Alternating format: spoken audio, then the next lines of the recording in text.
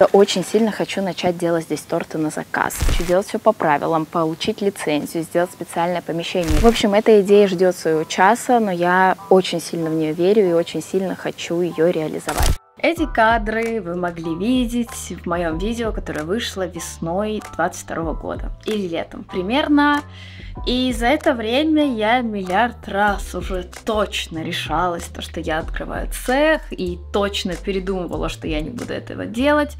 Но в итоге, как вы могли понять по названию этого видео, все-таки я определилась и начала делать э, какие-то действия в сторону его открытия. И так как этот процесс достаточно интересный, я решила снять про это серию вот таких видео на YouTube, где буду рассказывать вам, как мы а, открываем компанию, ищем помещение, делаем там ремонт, сколько все это стоит, вообще насколько сложно открыть бизнес в Дубае. Так что я думаю, это будет интересно не только кондитерам, но и людям, которые просто хотят какой-то бизнес сделать в Дубае. В целом, открывать компанию очень страшно, наверное, мне никогда не было так страшно что-то начинать делать, потому что а, открытие бизнеса в Дубае это, конечно, огромные риски. Это город очень дорогой, и в целом а, эта сфера для меня очень сложная, потому что здесь ты напрямую контактируешь со всякими проверками, департаментами, еще что-то. Я знаю, что здесь большие сложности с бюрократией, и я это все очень сильно не люблю.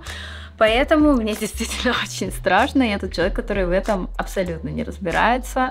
А, опять же, возможно, из этого вам будет еще интереснее смотреть эти выпуски. Теперь расскажу, что конкретно мы решили делать что мы будем вообще открывать, потому что многие думают, что я решила открывать кафе. Нет, я не решила открывать кафе, это абсолютно не связано никак с общепитом, это именно кондитерский цех, где мы делаем торты на заказ, и в перспективе, возможно, еще какие-то десерты будем делать. Но так как основное направление развития у меня это Инстаграм, я не могу просто открыть какой-то базовый неинтересный цех.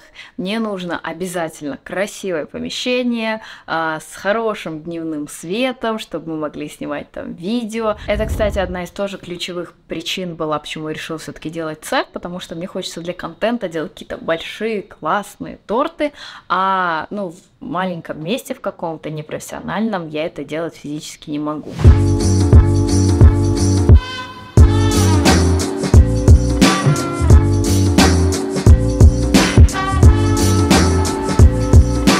В общем, друзья, любое открытие компании в Дубае начинается, как бы это ни было странно, с открытия компании то есть с оформления всех бумажек, банковского счета и так далее. Как у нас иногда начать что-то делать и по ходу все это оформлять не получится. Возможно, у кого-то получается, но в противном случае будет там либо большой штраф, либо депортация, как бы настроения на такой риск немножко нет.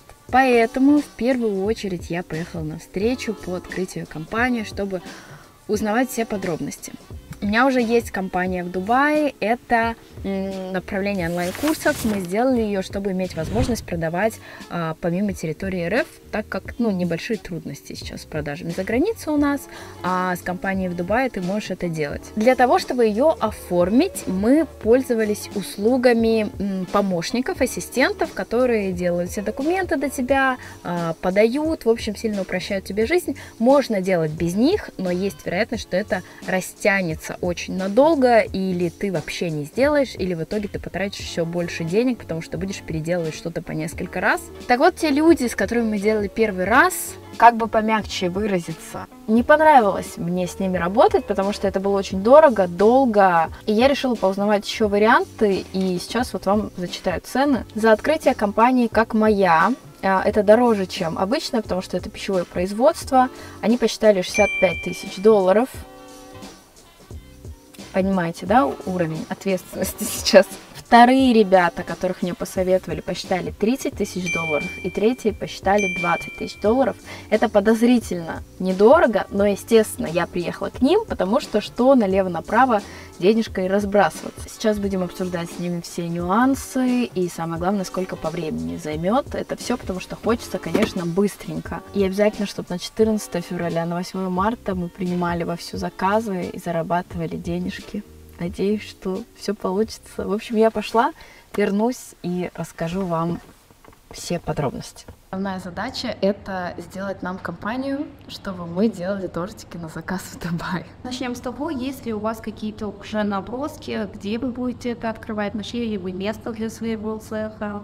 А у меня будут налоги 0%. Если вы будете вести внешнюю экономическую деятельность, то это не облагается налогом. Если вы будете продавать что-то внутри страны, то это облагается 5% налогом. А сколько это по времени сейчас занимает? А, открытие компании, получение лицензии пару недель займет просто на получение лицензии полностью для того, чтобы компания функционировала, опять-таки будет зависеть от того, какая компания. Mm-hmm. То есть нужны ли какие-то дополнительные разрешения на работу. А, получение самой лицензии занимает пару недель. Мы открываем вам компанию, а, после чего вы открываете банковский счет. Банковский на счет на компанию, да. И сколько это длится? Потому что у меня есть история, то что там три года ждут банковский счет и могут да, но три года не длится, да, в связи с тем, что э, российские паспорта попадают под санкцию. Этот процесс длится дольше, чем обычно, и может занять до трех месяцев. Ну что, друзья, можете меня поздравлять. Денежка вынесена. Мы а, оформляем компанию, сказали, что где-то 2-3 недели и уже будет первая часть. Оформим компанию, дальше можно будет искать производство, делать все остальное. Вот, слабо верится, что так быстро что-то уже сделают, но посмотрим. Самое сложное будет это потом еще дополнительно надо будет как-то еще одну компанию открывать или что-то там делать, чтобы мы могли проводить мастер-классы в этом же помещении, потому что у них это типа две вообще разные истории, когда ты делаешь производство, и когда ты делаешь мастер-класс. И вторая сложность сейчас это открытие счета, потому что счета открывают очень долго, а пока нам не откроют счет, мы не можем принимать платежи, то есть продавать. Но с другой стороны, мы сейчас делаем компанию, потом мы начнем делать ремонт, и вот все время, пока у нас будет делаться ремонт, мы будем открывать счет. И я надеюсь, что мы как раз успеем, и все супер будет у меня такой мандраж сейчас в душе, то, что назад дороги нет, денежка внесена, и как-то до этого можно было сжечь мосты бесплатно, а сейчас уже это будет чуть-чуть сколько-то стоит в проигрыш. Но надеюсь, что не буду я сжигать ничего, и уже все. До победного будем идти. Вот. Надеюсь, что у меня не получится сглазить наше совместное сотрудничество, но ребята действительно оказались молодцами. Мы открыли компанию меньше, чем за месяц, а, получили лицензию, но по этой лицензии ты не можешь пойти продавать уже торты. Там лицензия с большой печатью, то, что нужно дополнительное подтверждение, которое мы получим, когда полностью сдадим наше помещение. У нас все проверят, что оно а, подходит для пищевой промышленности, и, соответственно, это помещение нам нужно сейчас найти. У нас в Москве был цех 60 квадратных метров, поэтому сейчас мы ищем цех больше минимум в два раза, потому что 60 метров нам действительно было маловато. Также помещение должно быть не на окраине и не в каком-то соседнем Эмирате, где, конечно, дешевле, но как бы вести торт в погоду плюс 50, да, вот этот дубайский зной, а, чуть-чуть опасно издалека, поэтому желательно, чтобы помещение было в центре, и мы быстро могли добраться до любой точки. Ну и, конечно, у нас должен быть хороший дневной свет, чтобы я могла снимать видео в Инстаграм. Я не снимаю с искусственным светом, ну и в целом самые лучшие фотографии получаются с дневным светом, это круто, и нам обязательно нужно большое окно. Я всегда понимала то, что невозможно найти, конечно, такое помещение, которое нам полностью подойдет и не будет требовать ремонта. Но я не знала, что мы столкнемся с такими огромными сложностями. До того, как я начала активно искать помещение, я видела на сайтах большое количество таких warehouse, то есть складов. Их прям было очень много, десятки объявлений. Я думала, ну какой-нибудь из них мы просто выберем и сделаем там классный цех. Потому что я просто видела у других кондитеров цеха расположены примерно в таких же местах. Но, как выяснилось, 95% таких э, помещений не подходят под пищевое производство а остальные просто там с ними какие-то проблемы, они в ужасном состоянии. В общем, когда я начала смотреть помещение, я поняла то, что смотреть его мы будем очень долго. Всем привет, дорогие друзья! Мы давно с вами не виделись, уже ноябрь месяц, и обстановка примерно следующая. мы не нашли никакое помещение до сих пор. Каждый день я сижу здесь на сайтах по поиску помещений. Это Dubizl, это Bayut, это Property Finder. И ничего там, короче, найти не могу даже близкого. И плюс у нас подключены еще риэлторы, и они тоже ничего не могут найти. Короче, не получается. Мы посмотрели пару помещений, но они были плохие, они были в каких-то стрёмных районах с общежитиями, далеко, и, в общем, вообще ноль вариантов пока что. Вот изначально я находила много вот таких помещений и была уверена, что мы просто одно из них возьмем. Вот оно двухэтажное вот такое, и можно все удобно расположить. Но оказалось, что в большинстве таких помещений просто нельзя делать пищевое производство, ты не можешь получить разрешение, и ты можешь там делать только склад. Есть какие-то вот такие кухни, оцените просто качество фотографий, но они все, конечно, просто в каком-то отстойном виде. И, скорее всего, еще без дневного света. Такое вот у меня хобби на вечер появилось. Сижу, смотрю разные помещения. Я уже знаю все районы, все помещения вообще в целом, которые существуют, мне кажется. Но, к сожалению, ничего хорошего пока что не нахожу. Есть еще парочка, которые можно посмотреть, проверить, но все вот такое вот. Всем приветики! Мы поехали смотреть помещение. На такой вот красивой машине поедем сегодня. Погнали! У нас сегодня по плану три помещения. Первое помещение будет Cloud Kitchen. А, это когда люди, предприниматели, снимают большое какое-то помещение, делят его на маленькие-маленькие кухоньки и сдают отдельно в аренду. Плюс это то, что там уже есть ремонт, отделка. Ты просто заезжаешь, завозишь вещи и работаешь там, завозишь технику, вот это все. Также тебе не надо проходить проверки, получать лицензии, сертификаты вот эти. Минусы это то, что обычно такие помещения достаточно маленькие. А, я вот хочу посмотреть сейчас вживую, насколько они маленькие, может быть окей нам будет. И также минус это то, что рядом кто-то может готовить а, рыбу, мясо, еще что-то, какие-нибудь суши, это все будет вонять, а, возможно, и, а ты готовишь торты, и тебе некуда деться, и ты вот в этом аромате во всем готовишь. В общем, предлагаю проверить, посмотреть, и там уже решить.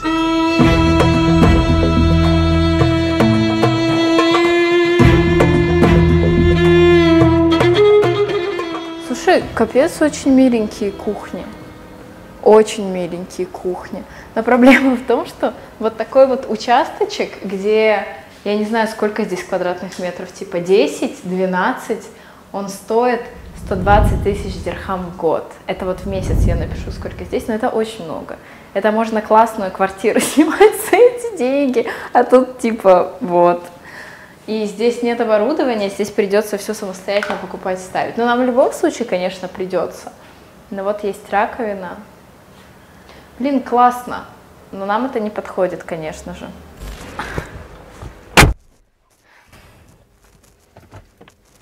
Ну, в целом неплохое помещение, но не для нас. Поэтому едем смотреть дальше. Следующий вариант у нас должен быть прям значительно побольше по размеру.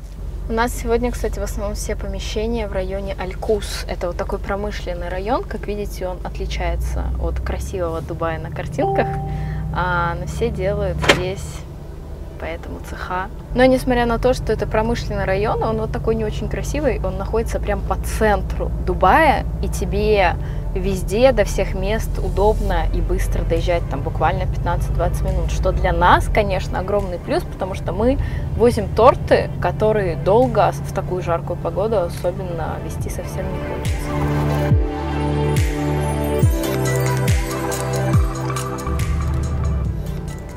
Вроде бы подъезжаем где-то ко второй точке, к нашей.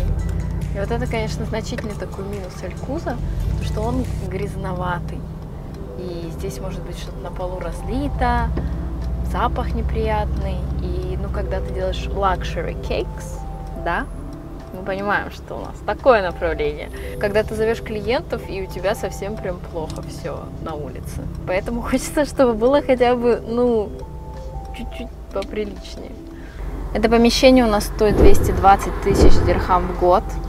И по размеру оно 3800 скверфитов. Это больше, чем 300 квадратных метров. Пойдемте посмотрим.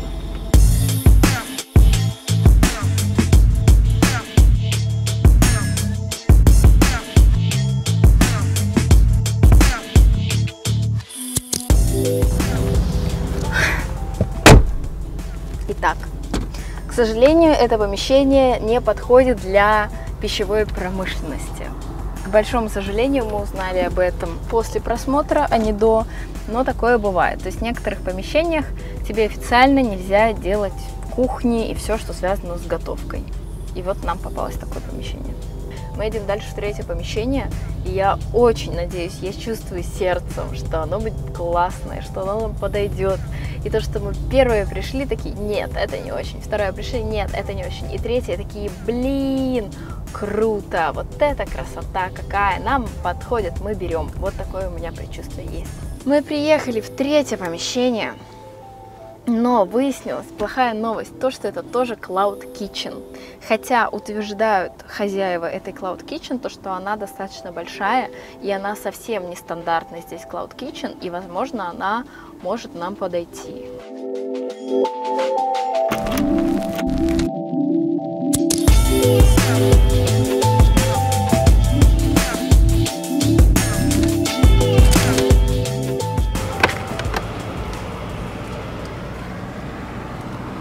меня депрессия. Не получился план, кажется, с тем, что третье помещение будет зашибись чуть-чуть. Оно прикольное, и оно больше всех нам подходит остальных помещений. Но вот эти вот маленькие окошечки наверху, конечно, нам вообще ни к чему.